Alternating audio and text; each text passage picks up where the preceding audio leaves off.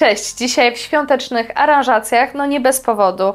Jeśli obserwujecie mnie na Instagramie, no to wiecie, że od października ubieram choinki e, w studio Oranżeria, tak by sesje rodzinne, może i Wasze, były przepiękne i w magii świąt. A jeśli zdecydujecie się na sesje świąteczne u mnie, to możecie liczyć na szarlotkę i zapewne się na niej zobaczymy, ponieważ e, ten sezon nie odpuszcza, chcę być na większości sesji w naszym studio. Przejdźmy do najgorętszego tematu jesienno-zimowego, który już od lat najbardziej Was grzeje. Kozaki na szerokie łydki. Ostatnio pokazałam cholernie drogie kozaki. Tu się nie da ukryć, cena jest po prostu wysoka, niestety. E, w tych kozakach się zakochałam. To były kozaki za kolano, skórzane, ponad 700 i e, tak, spotkałam się z wieloma krytycznymi komentarzami a propos ceny, więc postanowiłam znaleźć zamienniki tańsze i też na bardzo szerokie łydki i na szerokie łydki, bo musimy tutaj rozróżnić trochę nasze łydki. Moje łydki są bardzo szerokie, extra, extra wide, bo mają prawie 60 cm.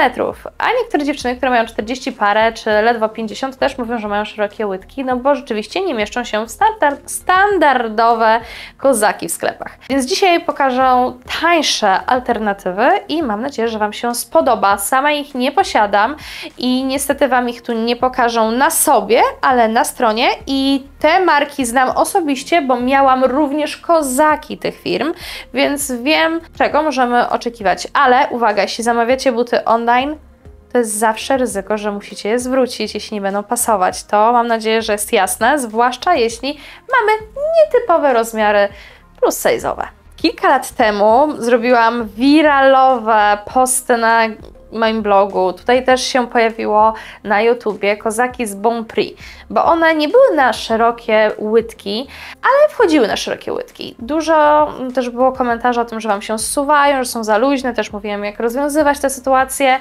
No niestety one jakościowo tyłka nie urywały, ale umówmy się, cena była zarąbiasta. Sama miałam chyba z 5-6 par, nie wiem, wszystkie kolory jakie były, wszystkie wysokości itd., tak itd. Tak no jednak e, no, te kozaki, no to w porównaniu z tym, co ostatnio mam, to straszna lipa. Muszę Wam to powiedzieć na głos. Ale z drugiej strony te, które mam są tak drogie, że nie mogę sobie teraz pozwolić na kupno innego koloru, więc pójdźmy na jakiś kompromis i przejrzyjmy oferty innych sklepów. Dzisiaj mam na sobie sweter z Jorsa, e, spódnicę z Asosa e, i kozaki z Uli Popken. Ale uwaga, te kozaki, one mi się podobają, mi pasują, ale mają bardzo bad reviews i Osoby z innych krajów również nie są fanami tych butów, bo są dosyć mocno szerokie, mimo że e, nie były skierowane do extra, extra wide fit. E, I druga kwestia, e, mogą cisnąć niektórych w kostce. Moje kostki są większe, ale jest wszystko ok, aczkolwiek z komentarzy wynika, że nie każdemu pasują.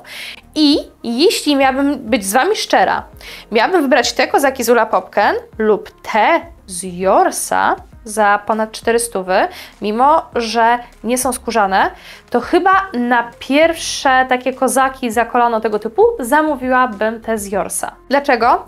Przede wszystkim widać, że one przylegają na maksa, a te tutaj, moje z Uli Popken, y, mają z tyłu sznurek i przy grubszych nogach wszystko jest ok, ale jeśli macie, nie wiem, na przykład te uda, te nad, kola, nad kolanem, nie macie takiej dużej szerokości, no to może Wam się zsuwać po prostu.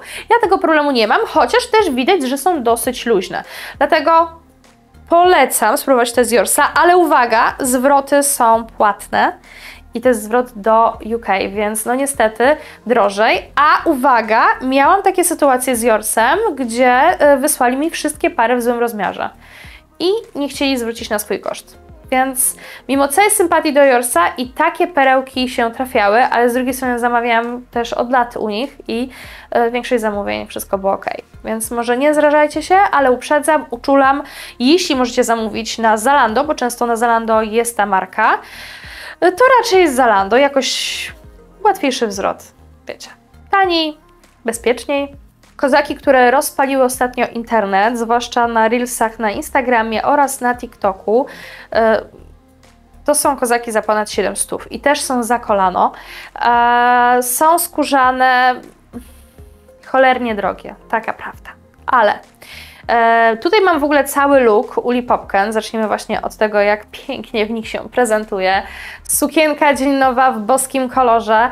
Jest niestety bez rękawów, więc musiałam dobrać do tego świetny kardigan. No cóż tu poradzę na to. I ten kardigan właśnie ma fajne frędzle po bokach, jest świetny.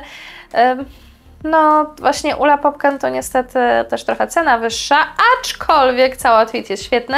E, I jeśli uważacie, że te kozaki są za drogie, to na Jorsie również znalazłam tańsze, ale one też są chyba w dwóch szerokościach, extra wide fit i extra extra, więc jeśli macie e, dużo szersze albo troszkę szersze, no to tam myślę, że możecie sobie wybrać. One są chyba ponad 400 kosztują, więc jest różnica trzech stówek na butach.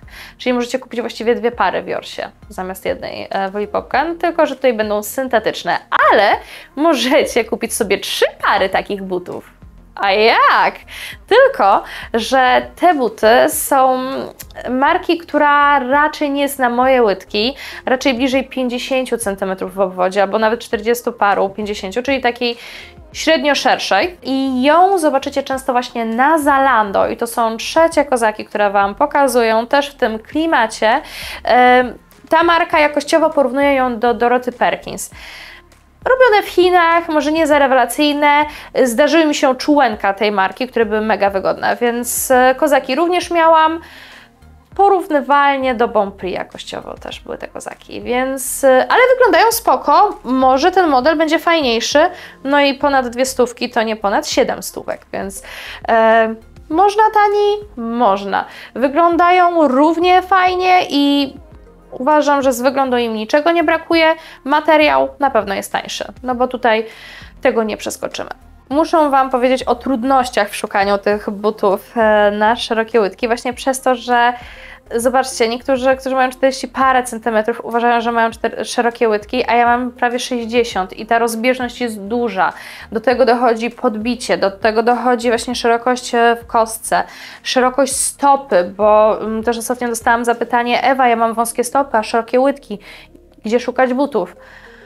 Oh my god, no jest tutaj dużo tych zmiennych. Na Uli Popken mamy na przykład e, to ułatwienie, że często piszą jaka jest szerokość właśnie stopy, jaka szerokość, tylko szkoda, że nie w centymetrach, co? H, L, XL, XXL, K no to niewiele mówi, ale no jeśli już poznacie markę, to już wtedy możecie się odnaleźć, ale niestety musicie próbować i zamawiać. To jest jedyna opcja, by zobaczyć, co jest dla Was najlepsze. I mimo, że Zakrzewska trąbi, że te buty są wspaniałe, może się okazać, że dla Was będą turbo niewygodne. No, cóż zrobić.